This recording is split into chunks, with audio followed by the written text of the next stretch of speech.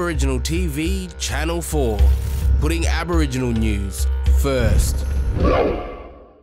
The Darwin Street Art Festival is returning for a third year in 2019 with 15 city walls to be transformed into masterpieces by nationally and internationally acclaimed street artists. It's wonderful to be back here in Austen Lane. We're announcing the third installation of the Street Art Festival. This year, from the 5th to the 15th of September, we'll have uh, a number of walls decorated again through the city to make sure that we do continue to enliven and make our city as vibrant as it possibly can be.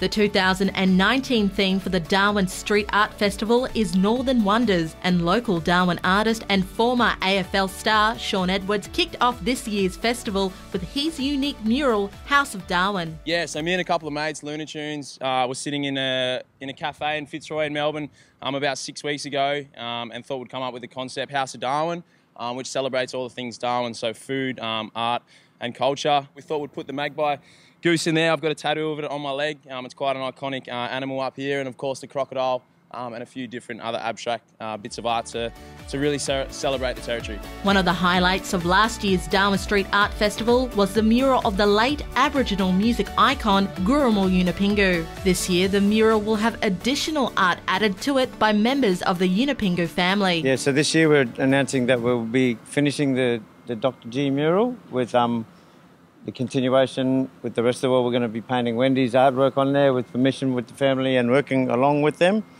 So it's going to have the big uh, Wendy's painting of the Baru and a couple of totems. So this is the sign that we're going to have on his image. And that re represents all the Gumatj people from Northeast Arnhem Land. And this, that is our dreaming that we have in our life and spirit. It will be a statue Darwin that reminds my nephew for all the tourists that he have toured all over the world. And he become a Dr. G and he was most musical man that the Northern Territory needed.